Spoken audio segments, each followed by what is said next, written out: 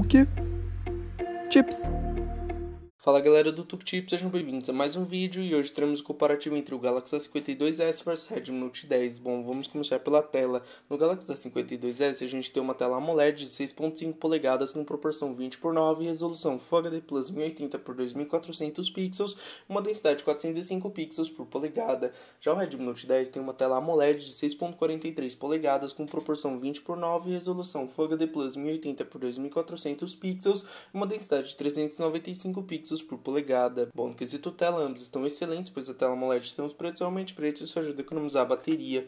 Agora no hardware, o Galaxy A52s tem um processador da Qualcomm Snapdragon 778G com 6 GB de memória RAM, 128 ou 256 GB de armazenamento interno e atinge até 541 mil pontos no AnTuTu Benchmark.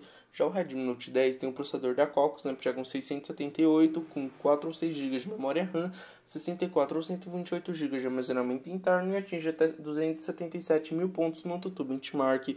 Bom, quesito hardware, o Galaxy A52s está melhor, pois ele tem um desempenho maior, atingindo mais pontos no AnTuTu Benchmark.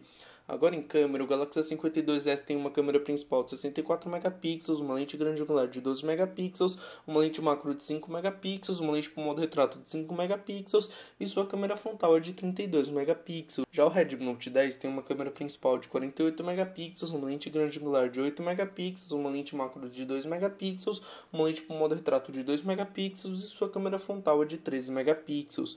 Bom, no quesito câmera, ambos estão muito bons, vão tirar fotos excelentes. Agora, em suas outras especificações, o Galaxy A52s tem 4.500 mAh de bateria e o Redmi Note 10 5.000 mAh de bateria. Ambos contam com USB tipo C e o alto-falante na parte de baixo do smartphone, Bluetooth 5.0. Quesito conectividade, o Galaxy A52 leva um ponto, pois ele conta com NFC. Bom, esse foi o comparativo, espero que vocês tenham gostado. Se gostaram, deixa o like, se inscreve no canal e até o próximo vídeo.